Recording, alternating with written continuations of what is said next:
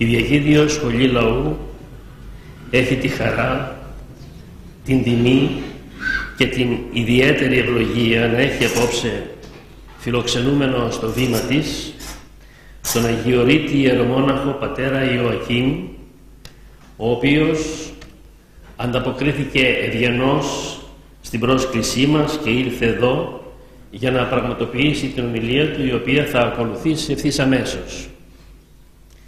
Κατά κόσμον Παναγιώτης Παπαευσταθίου, ο σεβαστός γέρον πατήριο Ακίμ, έχει γεννηθεί στην Πάτρα. Εσπούδασε θεολογία στο Πανεπιστήμιο Αθηνών και επραγματοποίησε μεταπτυχιακές σπουδές στη Γερμανία και στη Γαλλία. Διατέλεσε επιστημονικός βοηθός στη Θεολογική Σχολή του Πανεπιστημίου Αθηνών όπου ανέπτυξε έντονη δραστηριότητα επιμελούμενος ιδιαιτέρως και τα της Θείας Λατρείας στο παρεκκλήσιο της εν λόγω σχολής. Έγινε μοναχός στην Ιερά Μονή Κουτλουμουσίου και σήμερα μονάζει στο Ιερό Κελίο του Αγίου Νικολάου του Βραχνιώτη στις Καριές την πρωτεύουσα του Αγίου Όρους. Είπα ότι η παρουσία του απόψε εδώ αποτελεί πράγματι για μας ιδιαίτερη ευλογία διότι ο πατήριος Ακίμ έρχεται ακριβώς από το Άγιο Όρος που είναι τόπος Άγιος και Ιερός με οικουμενικό κύρος και πανορθόδοξο χαρακτήρα. Είναι ο θεματοφύλακας των αξιών και των παραδόσεων της Εκκλησίας και του έθνους. Είναι ο χώρος ο οποίος αγιάζει κάθε ανθρώπινη ψυχή και αγκαλιάζει όλους τους χριστιανούς της Ορθοδόξου Εκκλησίας. Είναι ο τόπος της μοναστικής πολιτείας με το ιδιότυπο καθεστώς που ισχύει χίλια και πλέον χρόνια και με τις θρησκευτικές του ιδιαιτερότητες τις οποίες για να τις κατανοήσει κανείς πρέπει να τον προσεγγίσει με πνευματικές προϋποθέσεις και με κριτήρια που αρμόζουν σε μια μοναστική πολιτεία όπως ακριβώς είναι η Αγιορείτικη.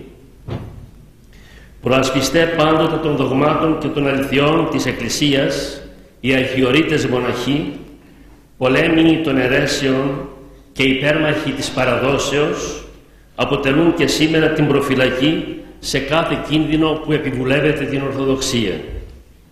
Γι' αυτό και είναι λυπηρόν όσοι από άγνοια τόσο της Ορθοδόξου πνευματικότητος όσο και του πνευματικού μεγαλείου που διέπει τον Ορθόδοξο μοναχισμό που δεν είναι σε θέση να ανταποκριθούν, να κατανοήσουν μάλλον το καθεστώς αυτό, να επιζητούν αβασάνιστα στις ημέρες μας την αλλαγή του καθεστώτος του Αβάτου του Αγίου Όρους.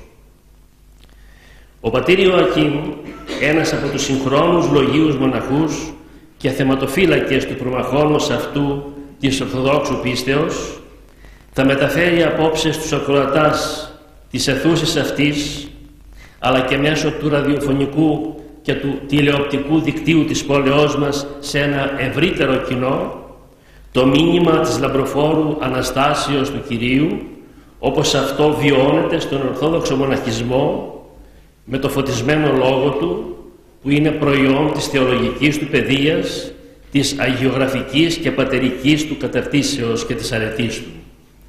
Το θέμα του είναι ο Ορθόδοξος Μοναχισμός υπό το φως της Αναστάσεως του Κυρίου. Από τη θέση αυτή απευθύνω ευλαβώς θερμές ευχαριστίες του Διοικητικού Συμβουλίου της Διοικητικού Σχολής στον πατέρα Ιωακήμ για τον κόπο στον οποίο υπευλήθη να έλθει από το όρος εδώ στη γενέτειρά του να τον ευχαριστήσω για την πνευματική προσφορά που θα μας δώσει απόψε και να τον παρακαλέσω να έρθει στο βήμα και να λάβει το λόγο. Ευχαριστώ.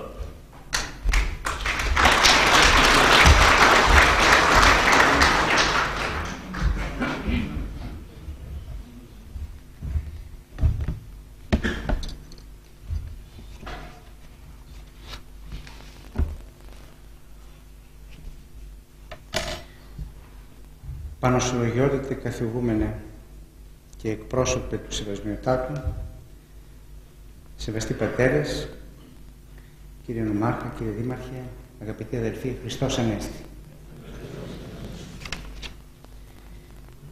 να εκφράσουμε διαμέσου του πατρός Νεκταρίου στον Σεβασμιότατο τις θερμές μας ευχές για την ευρενή του εορτή να τον σκέπει η Παναγία στο έργο που χρόνια επιτελεί με θεάρεσα στην Πάτρα και να εκφράσουμε επίσης τα συλληπιτήριά μας για την κίνηση του αδερφού του.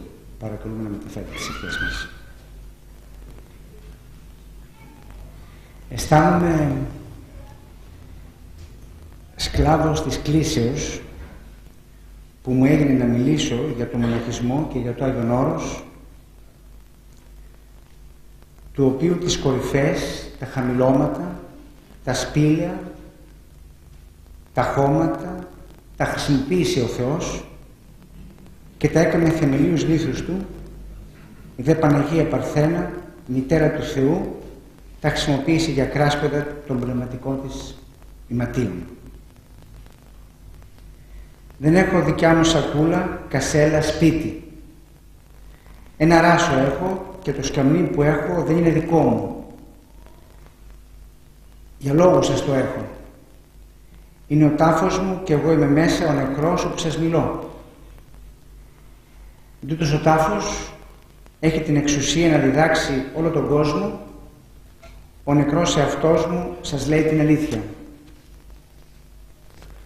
Με τούτα τα λόγια του Αγίου Κοσμάτου Ετολού και αφού ευχαριστήσουμε θερμά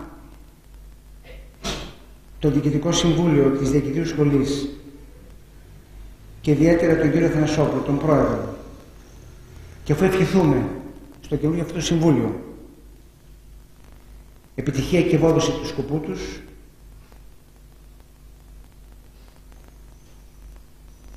Για αυτή την πρόσκληση ευχαριστώ. Να είμαι σήμερα μαζί σας και να ξεκινήσουμε μαζί το σημερινό μας πνευματικό ταξίδι λουσμένοι από το φως της Αναστάσεως και πλημμυρισμένοι από τη χαρά του Χριστού. Η Ορθόδοξη Εκκλησία, αγαπητοί αδελφοί, είναι η Εκκλησία του Σταυρού και της Αναστάσεως. Και το φως αυτό, το ανέσπερο, η χαρά η άλικτη που πηγάζει εκ του τάφου, συγκρατεί, συνέχει και καλύνει τα πάντα μέσα στην Εκκλησία. Η θεολογία και η ευσέβεια της Ορθοδόξου Εκκλησίας ανακεφαλώνονται στο χαιρετισμό του Αγίου Σεραφείμ του Σάροφ «Χριστός Ανέστη χαρά μου».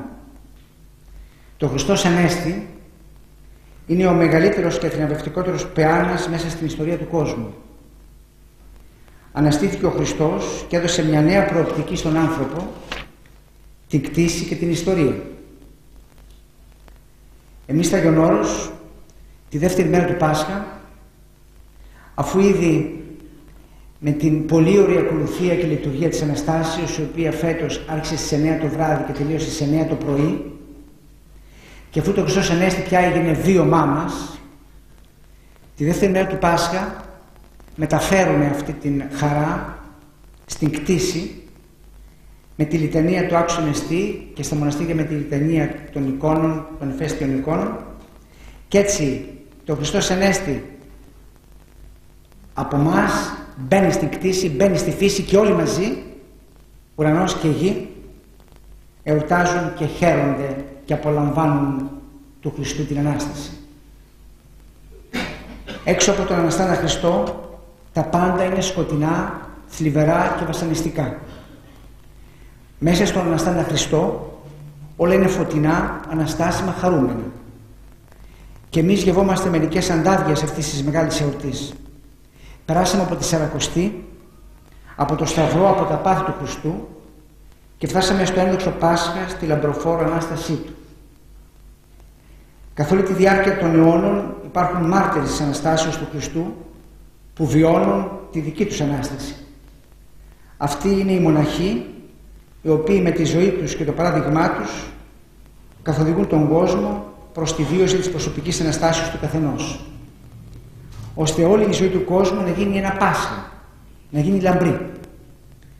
Η ζωή της Αναστάσεως πολιτεύεται στον Ορθόδοξο Μοναχισμό, φανερώνεται στο μοναχό η Θεία Χάρις και η αλήθεια. Σαν το σπόρο πεθαίνει ο μοναχός στη γη, της Εκκλησίας, την καλή και αγαθή και αυτή αυτόματα καρποφορεί. Βλαστάνει μια άλλη ζωή, ήρεμη και αγιασμένη, χαρισμένη άνθιμη. Όταν ο μοναχός, όταν ο υποψήφιος γίνεται μοναχός, ο δόκιμος γίνεται μοναχός, φοράει ένα πλησέ μανδύα και αυτός είναι ο τάφος του. Μπαίνει μέσα λοιπόν σε αυτό το πλησέ μανδύα και διακονεί το μοναστήρι μέχρι το τέλος της ζωής του. Είναι μέσα στον τάφο του και όλη του η ζωή, όλη του η προσπάθεια είναι να αναγεννηθεί. Αυτός ο νεκρός σπόρος δηλαδή, ο μοναχός, μπαίνει μέσα και αυτό που στο τέλος βγαίνει την ώρα του θανάτου του είναι η καινούρια ζωή. Αυτής της ζωής θάνατο σου και τι κυριεύει. Νιώθει ο μοναχός κάτι νέο, ασύλληπτο, απερίγρεπτο να σηκώνει μέσα του. Έρχεται η χάρη σε όλο τον άνθρωπο. Ειρήνη σε όλους τους λογισμούς του. Γαλήνη στην ύπαρξή του. Ανάπαυση στο είναι του. Φως μέσα και γύρω του έρχονται ασταμάτητα κύματα χαράς, πίστεως και ελπίδας. Η πνευματική ανάπαυση, ο αγιασμός, η αγαλίαση, η παραμυθία, η παράκληση και η ευλογία εδραιώνονται με την ευχή Κύριε Ιησού Χριστέ ελέησό με τον αμαρτωλό που γίνεται αναπνοή του μοναχού μέσα από τους πειρασμούς αναδύεται άνεση πνευματική στη ζωή του. Στο μοναχισμό δεν μιλάμε για κάτι σχετικό ούτε ζούμε κάτι περιορισμένο και επιπερασμένο. Μιλάμε για Αυτόν τον Ιησού Χριστό που απέθανε και ανέστη και θάνατος αυτού και την κυριεύει. Μιλάμε για την Εκκλησία του Αναστημένου Χριστού. Για Αυτόν που ανεστήθη εκ νεκρών και ανιστάμενος συνανέστησε την οικουμένη. Για Αυτόν που βγήκε από τον τάφος ως νυμφίος. Στο μοναστήρι τα πάντα είναι φωτισμένα, καταγλαϊσμένα, ζωοποιημένα από τη ζωή που εκ του τάφου ανέφερε. Κάθε μοναχός είτε κλαίει είτε προβληματίζεται για τη σωτηρία του είτε βασανίζεται για θέματα πίστεως είτε δουλεύει για το ψωμί του έχει ανάγκη και αναζητά τον Ιησού που καταλαβαίνει τον άνθρωπο που έγινε άνθρωπος όντας Θεός που θυσιάστηκε για τον άνθρωπο και μιλά τη γλώσσα του καθενός. Δίνεις στον καθένα αυτό που θέλει, που έχει ανάγκη, που ζητά. Έτσι σώζονται όλοι και ο καθένας προσωπικά ακούγοντας το όνομά του, παίρνοντας όνομα καινούριο. Όλοι οι μοναχοί συνάγονται στην ευχαριστία, στη Θεία Λειτουργία, εκεί που φανερώνεται ο αναστημένος Ιησούς. Διότι μέσα στο μοναστήρι, όπως σε κάθε εκκλησία, όταν τελεί τη λειτουργία, είναι παρούσα όλη η εκκλησία. Είναι παρόν ο Χριστός, η Αγία Τριάδα, η Παναγία, οι Άγιοι, η θριαμβεύουσα και η στρατευμένη εκκλησία. Οι μοναχοί ζουν διαφορετικά. Αποφασίζουν να πεθάνουν και έτσι ζουν. Διότι αυτό που μπήκαν να ζήσουν είναι θάνατος. Ο τρόπος της ζωής τους είναι απόφαση θανάτου. Όλη τους η δημιουργία, το ήθος, ο λόγος, τα έργα, η μορφή, το ορατό και αόρατο είναι γεννημένα από τον θάνατο, από τη θυσία. Νεκρώνει τον εαυτόν το μοναχός για να γεννηθεί το καλύτερο, το Άγιο, το Θεϊκό. Ο μοναχός είναι πεπισμένος ότι το μέλλον ανήκει σε αυτό που ανίσταται εκ του τάφου. Σε αυτό που δεν φοβάται τον θάνατο. Αλλά ο θάνατος γίνεται η μήτρα που το κυοφορεί. Αναδύεται από τον τάφο από την τελική δοκιμασία, νέο, άτρωτο, γεμάτο άδειτο φως. Ο μοναχός με το να δώσει ολοκληρωτικά τον εαυτόν του στο Θεό σώζει τη μία αλήθεια. Ζει και φανερώνει τη μία χαρά ο αν απολέσει ούτως σώσει. Η ζωή του μοναχού είναι μια απώλεια και μια έμφαση συγχρόνως.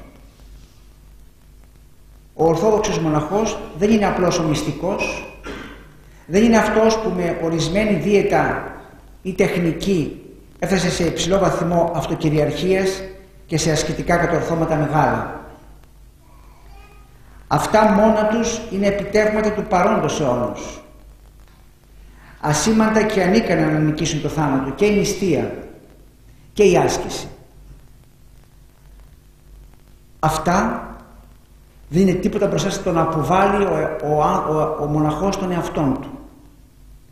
Και πώς γίνεται αυτό; Μπαίνει μέσα στο κελί του μετά το απόδειπνο που απογορεύεται κάθε συντυχία, κάθε επαφή, δηλαδή κάθε κοινωνία και μέσα στο κελί του μέχρι που θα χτυπήσει η καμπάνα για να πάει τη νύχτα στην εκκλησία για το μεσονυχτικό και τον όρθο και τη λειτουργία δίνει τη μεγάλη μάχη. Είναι αντιμέτωπος με τον διάβολο, με τον εαυτό του και με τον Θεό. Και κάνει αυτόν τον τριμέτωπο αγώνα.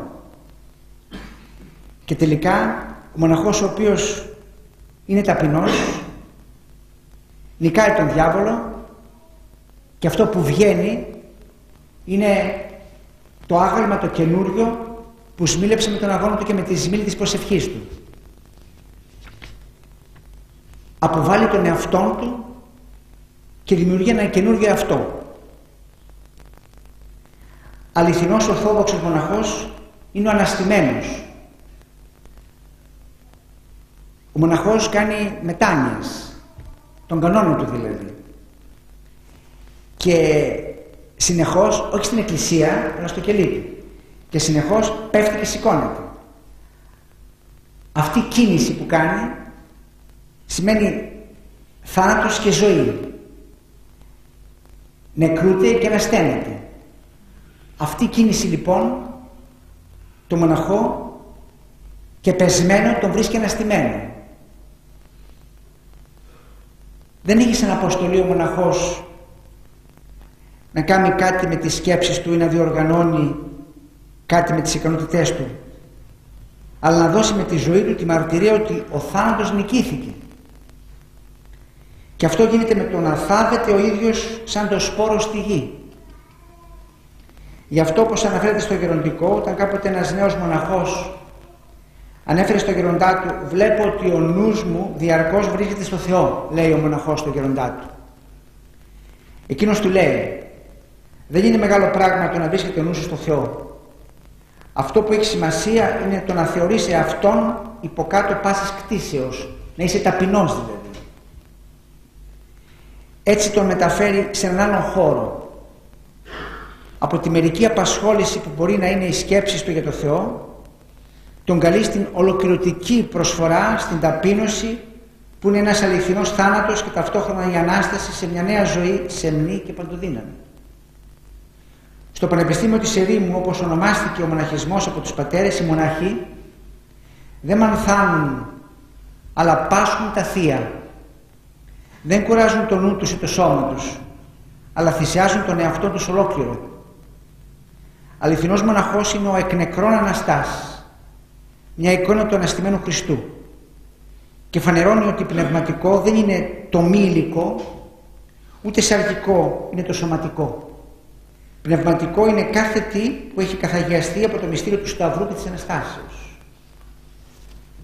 Ο μοναχός είναι ο παντρεμένος με το μυστήριο της ιερουργίας, της σωτηρίας των πάντων μέσα στην Ορθόδοξη Εκκλησία. Με ένα ιδιαίτερο τρόπο ασχολείται με όλα και με τίποτα. Η έννοια της ειδικεύσεώς του, του είναι ξένη εκφύσεως. Δεν είναι ειδικευμένος με κάτι, ούτε τον αφήνει αδιάφορα ένα άλλο. Όλα τον ενδιαφέρουν ένας μοναχός έγραφε «Δεν είναι η δουλειά μου να χτίζω σπίτια και να ασπρίζω, ούτε ακόμα είναι να διαβάζω και να γράφω.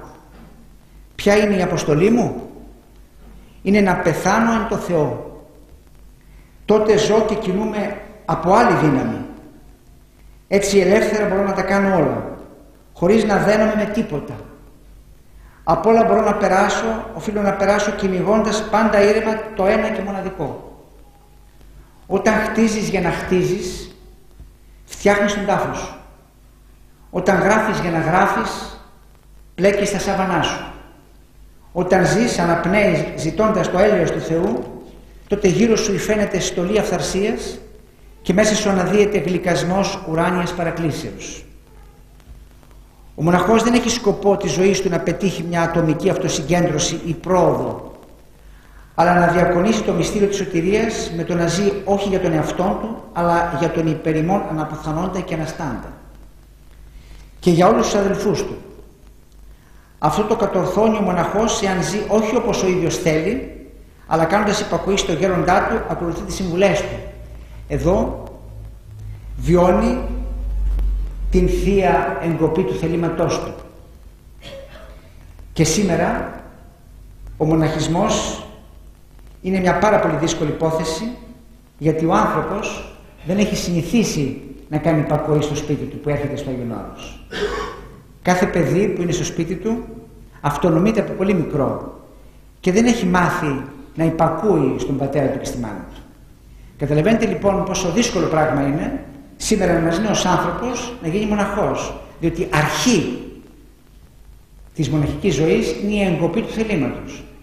Όχι μόνο όμως της μοναχικής ζωής, η εγκοπή του θελήματος, το να κόψουμε το θελημά μας δηλαδή, είναι απαραίτητο και μέσα στο γάμο.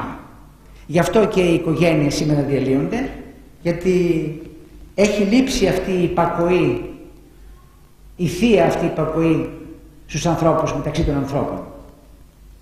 Η μοναχική κουρά, η είσοδος στη μοναχική ζωή γίνεται μέσα στη Θεία Λειτουργία. Η κουρά είναι η ακολουθία που γίνεται μέσα στη Θεία Λειτουργία, του μεγαλόσχημου κουρά. Ο υποψήφιος μοναχός εγκαταλείπει τον εαυτόν του μπροστά στο Άγιο Θυσιαστήριο και γίνεται δεκτός από μια Αγία Συνοδεία που είναι Άγια γιατί έχει εναποθέσει στο Άγιο του το θυσιαστήριο όλη της τη ζωή, τα σχέδια και την ελπίδα. Όπως δεν είναι η αρετή του ιερέα που μεταβάλλει τον άρτο και τον ίνο σε σώμα και αίμα Χριστού, αλλά η χάρη της ιεροσύνης που είναι ενδεδειμένος, έτσι και μέσα στη μοναχική ζωή και αγωγή δεν είναι η ικανότητα ή ο χαρακτήρας του ηγουμένου ή των αδελφών που βασικά ενεργεί, αλλά το πνεύμα της παραδόσεως που κατευθύνει.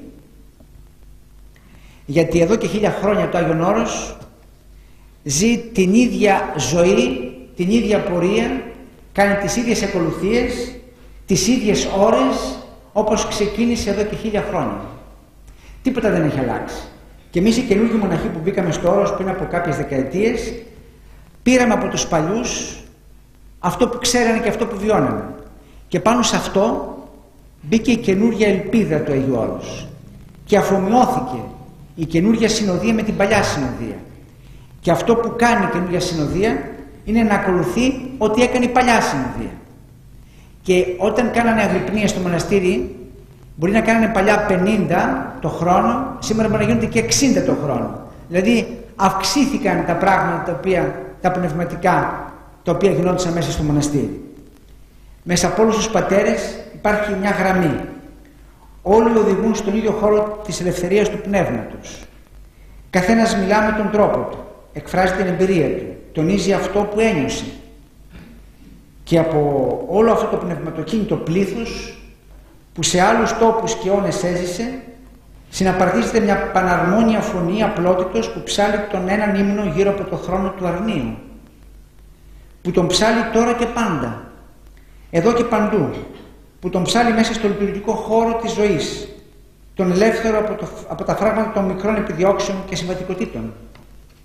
Έτσι η ίδια η υπέρχρονη και πανάγαθη δύναμη που εκτομιώντως συνέστησε τα πάντα, αυτή καθαγιάζει τα τίμια δώρα επί της Αγίας Τραπέζης, συγκροτεί των Αγίων Πατέρων το χορό, καθαγιάζει τον προσφερόμενο μοναχό, παίρνει στα χέρια της και αναλαμβάνει την όλη συγκρότηση και ζωή της κάθε μοναχικής κοινότητας.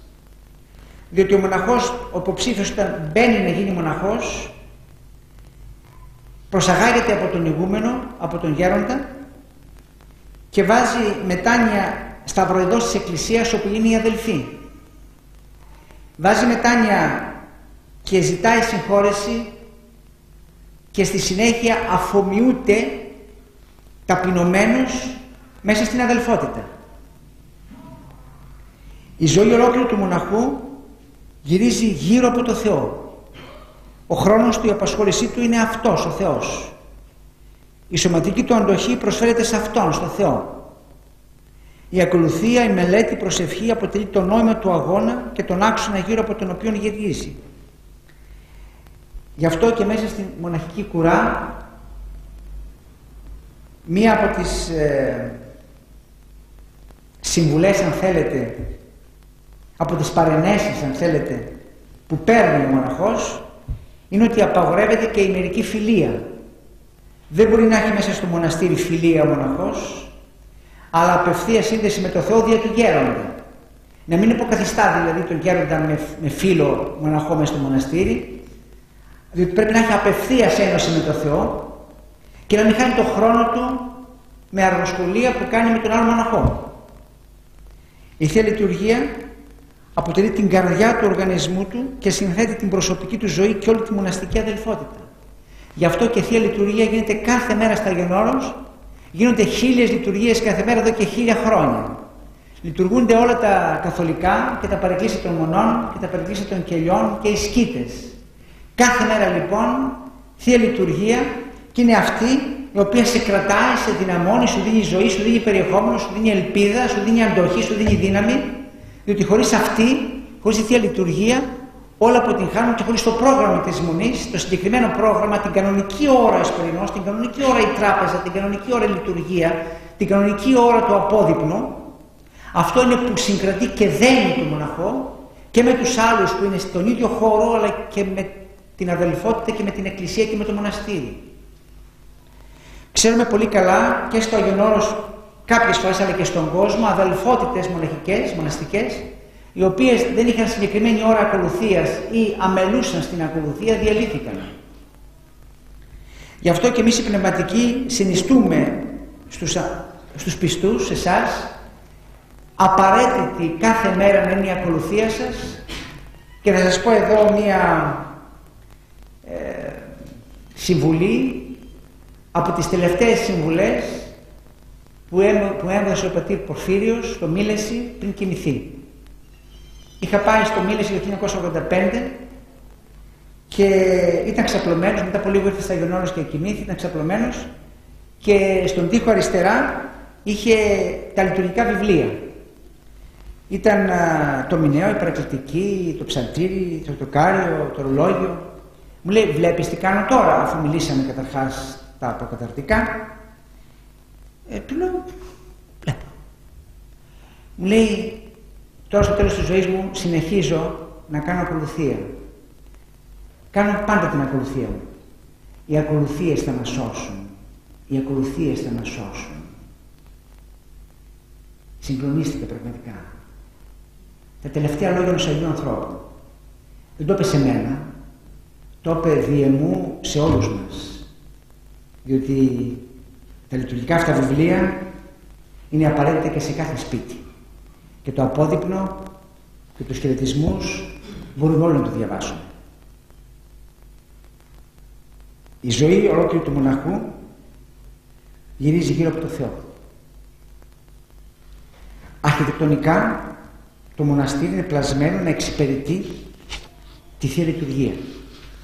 Είναι μια αρχιτεκτονική, ψαλόμενη, θα μπορούσε να πούμε, Θεία Λειτουργία το μοναστήρι. Γύρω από την εκκλησία, το καθολικό ή το κυριακό στις σκήτες, ανάλογα που βρισκόμαστε, σαν χερουβίμ και σεραφίμ απλώνονται τα κελιά, τράπεζα, βιβλιοθήκη. Ο χώρος που ιερουργείται η Θεία Λειτουργία του 24 ώρου. Διότι πάμε στην εκκλησία τις τακτές ώρες ακολουθίας, αλλά όλο τον άλλο χρόνο της ημέρας και της νύχτας τον διαθέτουμε σε αυτούς τους χώρους, που είναι η τράπεζα, το μαγειρίο, το χονταρίκι, το γραφείο, ο κήπος. Κάθε πράγμα είναι στη θέση του λειτουργικά ιεραρχημένο. Γι' αυτό ζώντας μέσα στο πρόγραμμα της Μονής, βαδίζοντας στους διαδρόμους της, νιώθεις πως γυρίζει συνέχεια γύρω από το «εν ούτινος εστιχρία». Γυρίζεις με τις σκέψεις, με τον κόπο, τον πόνο, την χαρά, με το σώμα και την ψυχή σου μέσα στη Θεία Λειτουργία της ζωής του μοναστηριού που προσφέρεται υπέρ της οικουμένης. Τη νύχτα ζυμώνει ο προσφοράρης τα πρόσφορα. Θα πάει στην εκκλησία να βάλει μετάνοια από τον ηγούμενο και να πάει ο παπάς να διαβάσει μια ειδική ευχή. Ό,τι ξεκινάει, ξεκινάει με ευλογία μέσα από την εκκλησία. Τίποτα δεν γίνεται χωρίς ευλογία. Ό,τι γίνεται χωρίς ευλογία αποτυγχάνει. Τούτη η ζωή και το οικοδόμημα θα ρίσκει είναι μια ζωντανή εικόνα της Αναστάσεως του Χριστού.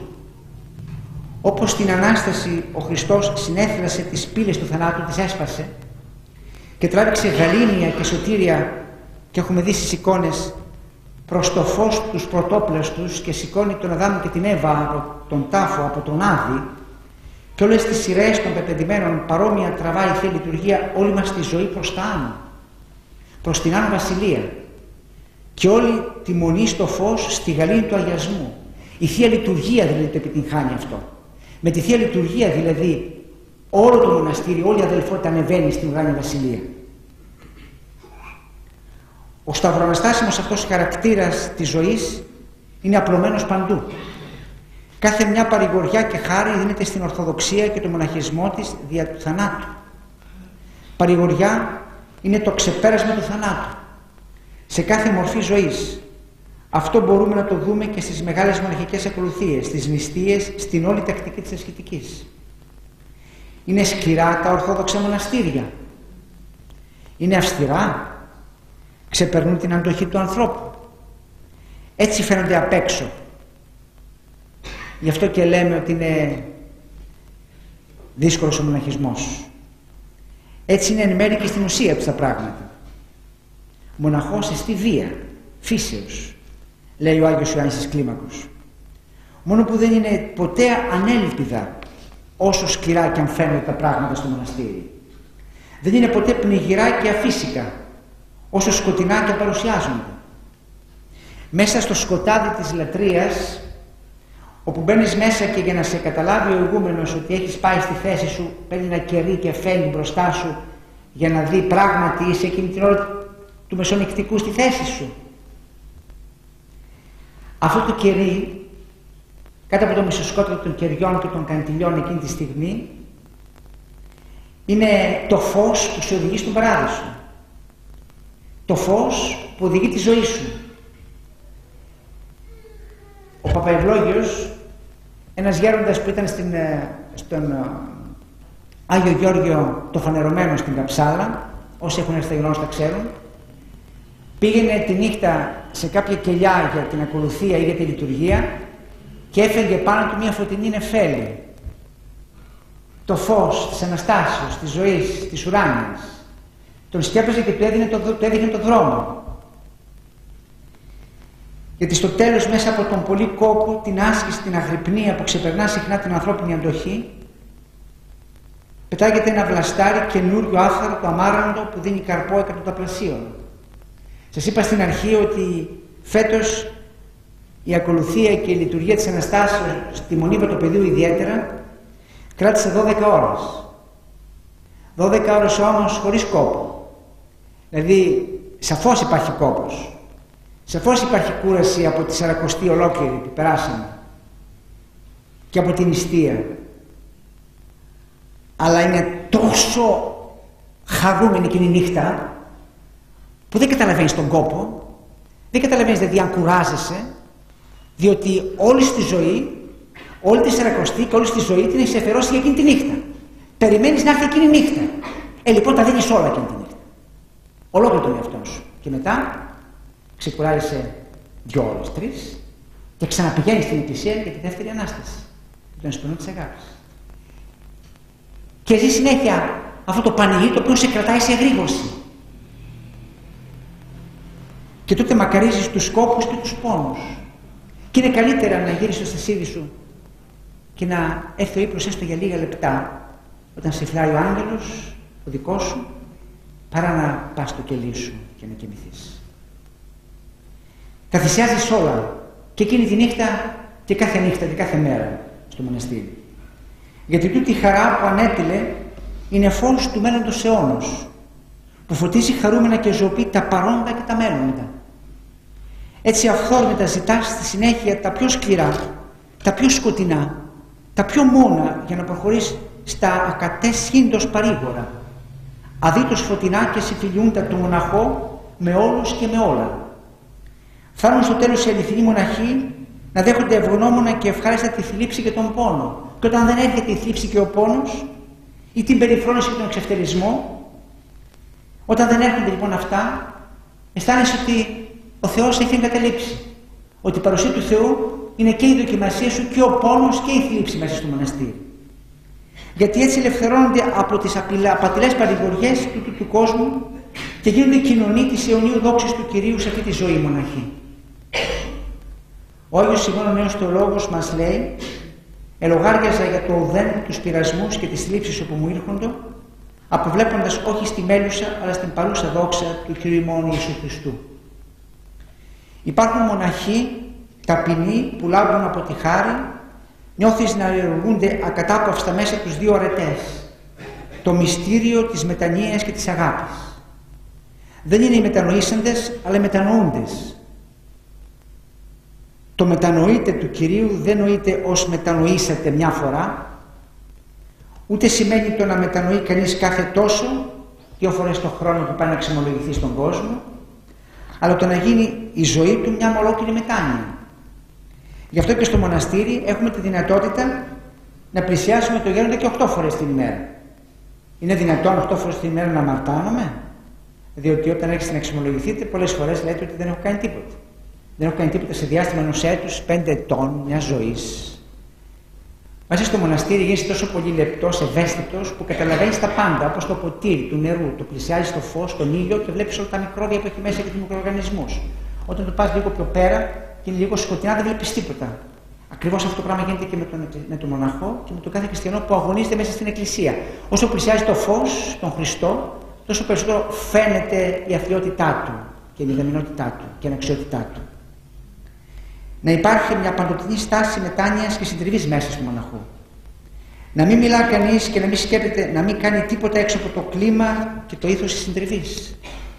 Γι' αυτό και ο Παπαεφρέμ στα Κατουνάκια, πριν από μερικά χρόνια, αρκετά πριν πεθάνει, πριν κοιμηθεί, όταν πήγαινε συχνά και τον έβλεπα, μου έλεγε, μου είπε κάποτε ότι κλαίω πέντε χρόνια, κλαίω γιατί κλαίω.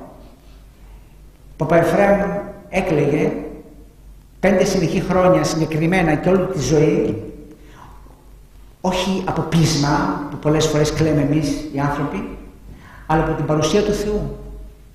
Διότι τι άλλο μπορεί να κάνει ο άνθρωπος όταν συναντάει το Θεό στη γη από το να τρέχουν κουνή τα δάκρυά του από αφωνία και από έκσταση.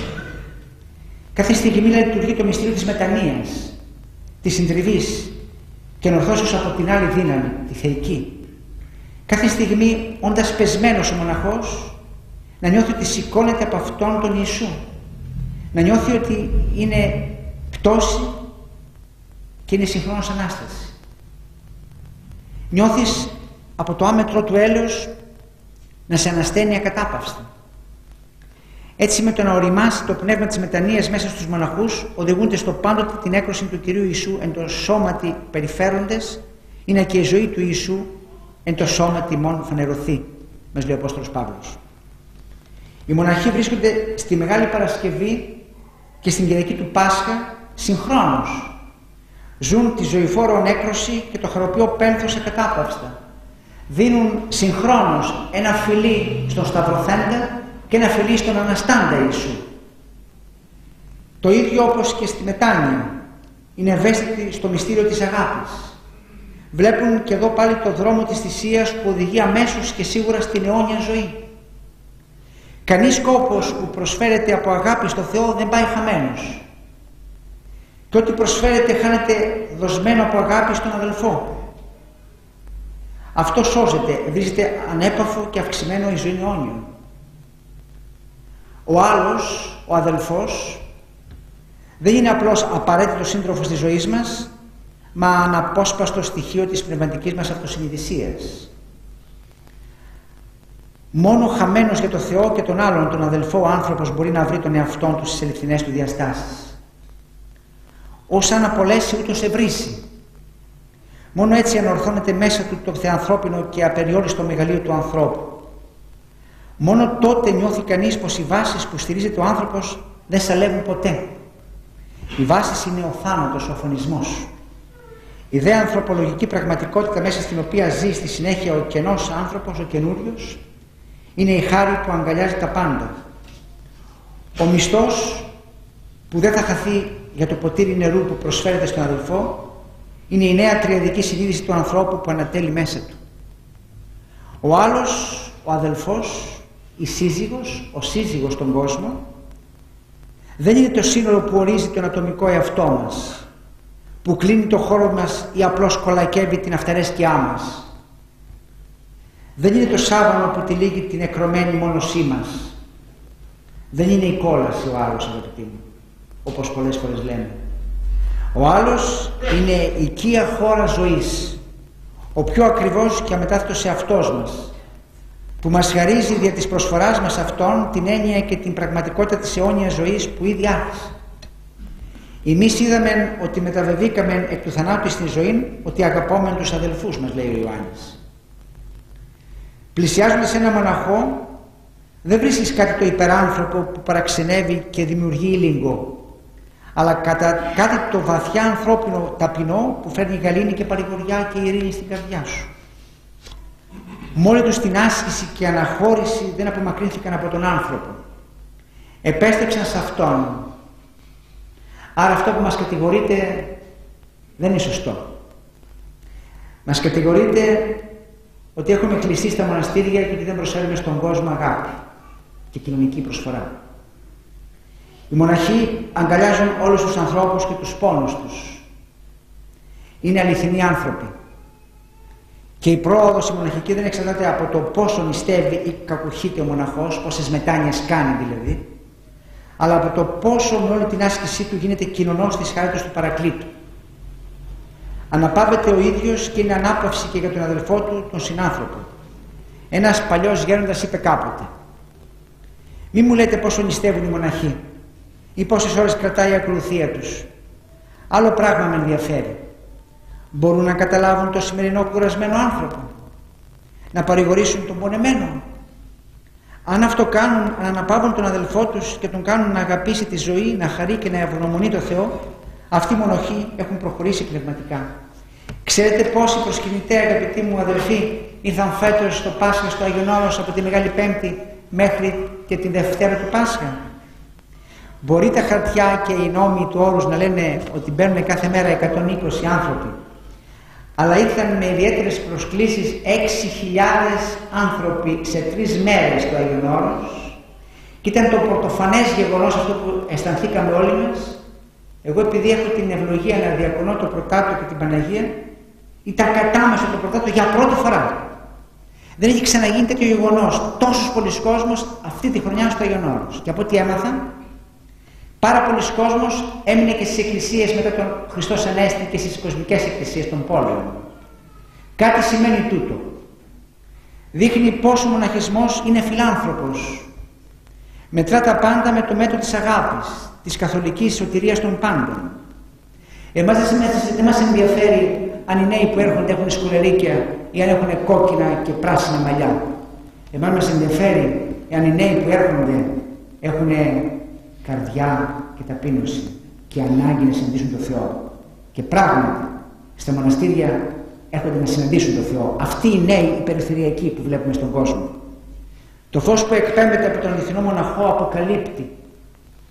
Μοιάζει με την παρουσία του Κυρίου. Μπροστά του νιώθεις απέραντη γαλήνη και σιγουριά. Τα πάντα γεμίζουν από φως. Οι απορίες σου λύνονται. Άφωνα. Αγαπάς τον Χριστό τη ζωή. Δεν φοβάσαι το θάνατο. Ο Ορθόδοξος μοναχισμός είναι ο μάρτυρας της μιας και μόνης αγάπης. Της αγάπης στο Θεό και της αγάπης των πλησίων. Ακολουθεί το Ευαγγέλιο που διδάσκει ότι η αγάπη στο Θεό προϋποθέτει την αγάπη των πλησίων. Ο Άγιος Ιωάννης ο Θεολόγος στο τέλος της ζωής του ο Παρθένος αυτός μαθητής του Ιησού όταν ήταν 120 ετών πήρε μερικούς μαθητές του και πήγε έξω από την πόλη την Έφεσο και άνοιξε τα χέρια του, είπε να ανοίξουν ένα λάκκο. Άνοιξαν ένα λάκκο ξάπλωσε μέσα άπλωσε τα χέρια του σε σημείο σταυρού και τους παρεκάλεσε σιγά σιγά να τον σκεπάζουν. Και αφού τον σκέπασαν μέχρι την, το στήθος, μέχρι την καρδιά παρέδωσε το πνεύμα του στον Θεό. Αυτή είναι η σταυρική πορεία του ανθρώπου. Όχι μόνο στη ζωή αλλά και στον θάνατο. Ο άνθρωπος με τη συνεχή ακολουθία και λειτουργία ενώνεται με το Θεό, κατά κόρυφη διάστασή του, και με το άνοιγμα τα χέρια του Χριστού, του Ιωάννη του Θεολόγου, και όλων των Αγίων και των Μαρτύρων της Εκκλησίας, μας δείχνει την αγάπη που πρέπει να έχει ο άνθρωπος στον πλησίον και στον άνθρωπο. Η φυγή ή η αναχώρηση είναι μια σταυρική οδός για να ερχόμαστε με την ελεύθερη αγάπη μας στους ανθρώπους. Οι μοναχοί πιστεύουν βαθιά ότι η άσκηση χωρίς αγάπη αχρηστεύεται. Γι' αυτό και η εργασία δεν λέγεται εργασία του μοναχού, αλλά λέγεται διακονία. Μέσα στο μοναστήρι διακονεί ο μοναχός τους αδελφούς του. Οι μοναχοί μας μιλούν με τη ζωή τους για ευαισθησία και τρυφερότητα, ελεημοσύνη και ευσπλαχνία προς όλους και όλα. Προς ένα κόσμο που ασθενεί και υποφέρει, που λυπάται και θλίβεται, που αμαρτάνει και απελπίζεται. Στον ακόρεστο σημερινό άνθρωπο που για λίγη ευχαρίστηση αφιερώνει τόσο κόπο, κόπο, τόπο, χρήμα και χρόνο, απαντάει η μοναχική άσκηση και εγκράτεια, η στρατική ζωή του μοναχού. Και πολλές φορές βλέπουμε τον μοναχό, υπάρχει μια παράσταση όπου βλέπουμε τον μοναχό σταυρωμένο με βέλη από τους πειρασμούς και από τις δοκιμασίες που χτυπάνε πάνω του. Μέσα από την άσκηση αναδύεται άνεση πνευματική και σωματική στην προσωπική ζωή. Μέσα από την άσκηση λεπτύνεται ο νους και η καρδιά για να δούμε και να αγαπήσουμε τον αδελφό. Μπροστά στον προχωρημένο μοναχό νιώθεις ότι ζουν αληθινά οι παλιοί Άγιοι. Μπροστά του νιώθεις να βρίσκεσαι εν τη ασχάτη μέρα. Κρίνεσαι. Σε κρίνει η αγάπη του που δεν την αγγίζεις. Η οξυδέρκεια, το καθαρό του βλέμμα που δεν σε κατακρίνει. Καταλαβαίνεις πώς θα γίνει η κρίση του Θεού. Νιώθεις πώς ερμηνεύεται η αθανασία της ψυχής χριστιανικά. Πώς θα είναι τα αναστημένα σώματα. Βρίσκεσαι μπροστά σε μια θεοφάνεια, σε μια αληθινή ανθρωποφάνεια.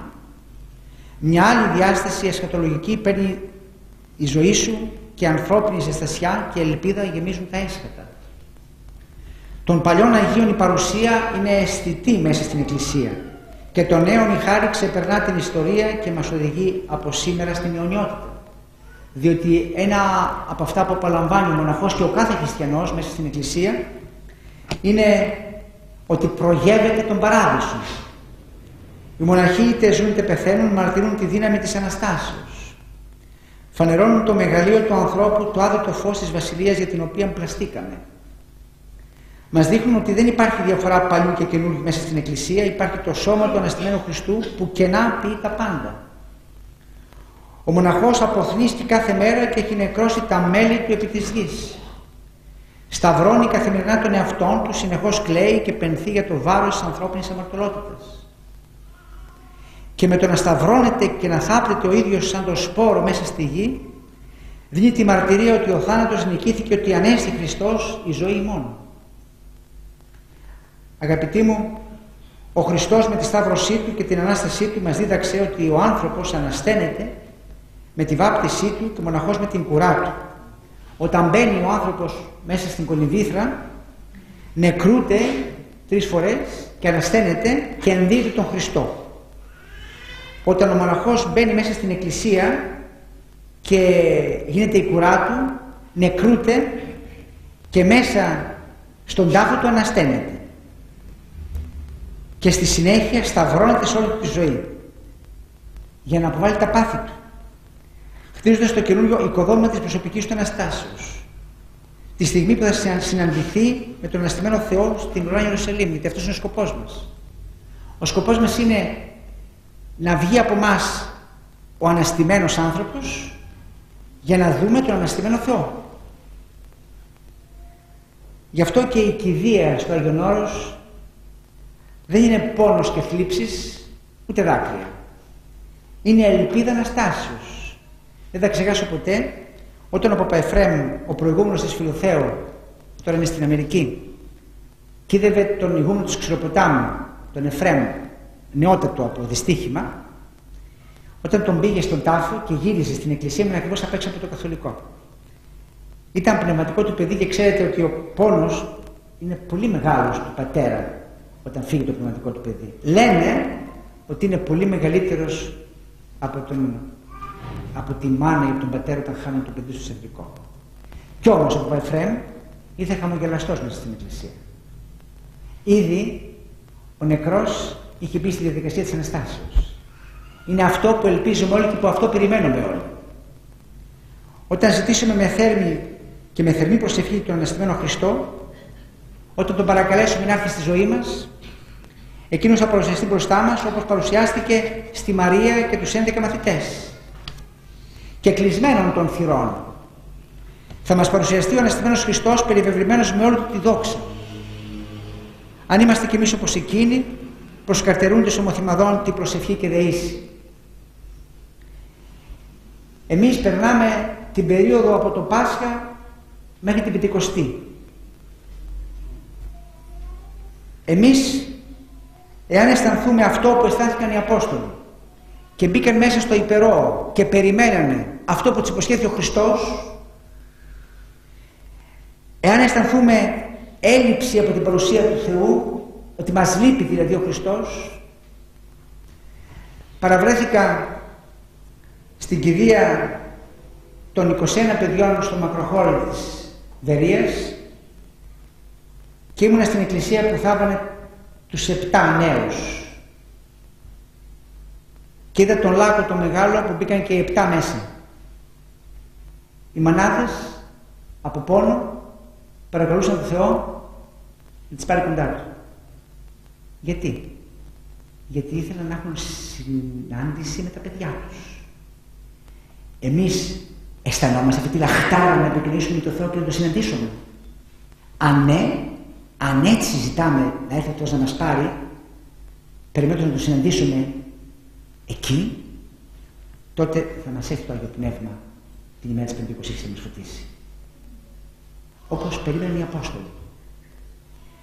Φτάνοντας στο τέλος αυτού του ταξιδιού του πνευματικού, σήμερα Ας εμβαθύνουμε μέσα στο Θεό όπως εμβαθύνει ο άλλος μέσα στη θάλασσα.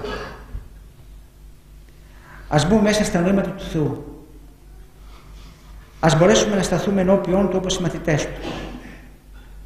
Ας ευχόμεθα ο ένας για τον άλλον και προπάντων για τη δική μας ψυχή, γιατί ο Θεός ήρθε να σώσει το απολολός.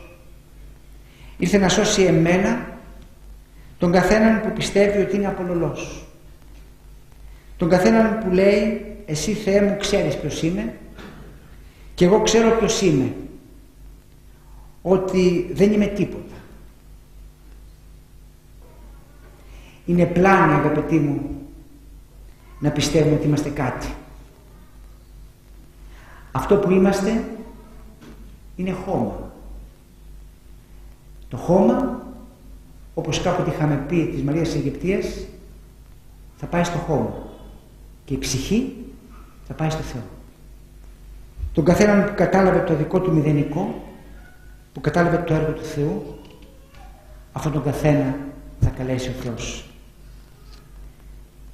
Με αυτή την πίστη χριστιανή, ήδη από την πρώτη στιγμή της καθιδρύσεως στον κόσμο της Εκκλησίας, επιθυμούνται στη γνώση της Γραφής και την ακρίβεια της Ευαγγελικής Τελειότητας και την άρση του Σταυρού του Χριστού και την κληρονομία της Βασιλείας των Ανών, Θέλησαν να συγκαταλεγούν μεταξύ των αναχωρούντων στην έρημο να είναι οι παρθένοι οι ακολουθούντες το αρνίον όπου αν υπάρχει. Διαβάζουμε στην Αποκάλυψη.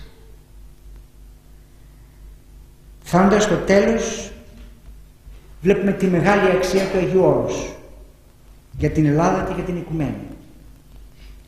Πολλοί επισκέπτονται το Αγιον Όρος και φεύγουν αναπαυμένοι. Και άλλοι έρχονται στο Αγιον Όρος και τρομάζουν από την σιωπή. Ξέρετε γιατί; Γιατί οι άνθρωποι στον κόσμο έχουν συνηθίσει όταν έχουν ένα πρόβλημα, το οποίο πολλές φορές είναι ο αμαρτωλός εαυτός μας, να ανοίγουν την τηλεόραση και να παίρνουν τηλέφωνο και να κάνουν μια βόλτα για να διασπαστούν στο Άγιον Όρος και στο μοναστήρι αυτές οι ώρες, σε αυτές τις ώρες και για αυτές τις ώρες μπαίνει ο μοναχός μέσα στο κελί του και στον εαυτό του για να τον ξεγυμνώσει. Το Άγιον Όρος είναι η ελπίδα του γένους του Θεού, η ελπίδα της Ορθοδοξίας. Το Άγιον Όρος δεν είναι ένας τόπος, αλλά ένας τρόπος ζωής. Σήμερα εδώ ζούμε το Άγιον Όρος. Εκεί δίνεται η δυνατότητα λόγω της ησυχίας και του περιβάλλοντος να αναπτυχθεί περισσότερο η εσωτερική ησυχία. Εκεί οι μοναχοί σταυρωμένοι και αναστημένοι βαδίζουν το δρόμο για τη συνάντηση με τον αναστημένο Χριστό. Ο σκοπός της ζωής μας είναι αυτός. Είναι η συνάντηση με τον αναστημένο Χριστό. Ας θυμηθούμε τον προφήτη Ισαΐα στον παρήγορο λόγο του τα έλεγε Κύριος μακάριος ως έχει εν Σιών σπέρμα και οικείους εν Ιερουσαλήμ. Και εμείς όλοι μπορούμε να πούμε ότι είμαστε μακάρι γιατί έχουμε στη Σιών της Ορθοδοξίας, στο Αγιον Όρος, το σπέρμα των Αγίων Ασκητών. Αυτοί ζουν για μας και αποτελούν το φως και την ελπίδα για την παρούσα και μέλουσα ζωή μας. Ένας άγγελος Θεού, τύπος Χριστού, έδειξε κάποτε στον Ιωάννη τον Θεολόγο την εσχατολογική κατοικία του Θεού μετά των ανθρώπων. Έτσι και η καθημερινή ζωή της αγγελικής πολιτείας του Αγίου Όρους και κάθε μονής ας είναι ένα παράθυρο ανοιχτό για τον σύγχρονο άνθρωπο για να μπορέσει να δει τον ουρανό, τη βασιλεία του, τον Χριστό, τον Παράδεισο, την πραγματική ζωή και ο μοναχισμός και τα Όρος να γίνει για τον καθένα μας η ελπίδα, η ζωή, το φως, η χαρά της Αναστάσεως. Χριστός Ανέστη.